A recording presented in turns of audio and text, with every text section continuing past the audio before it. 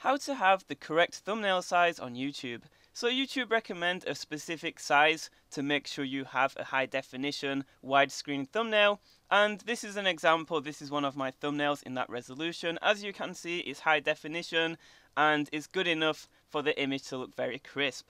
YouTube recommends this resolution as we can see from this picture.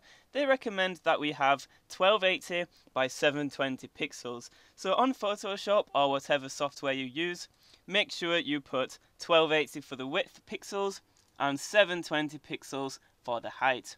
This will give you a nice 16 by 9 widescreen thumbnail image which you can use to make your very snazzy thumbnail. Make sure to make it very colourful and vibrant and this will draw the viewer into your video. Thank you for watching guys, be sure to leave a like and a nice friendly comment if this helped and you can always click the link in the description to subscribe to my tech channel where I give you guys tips on how to build a YouTube channel.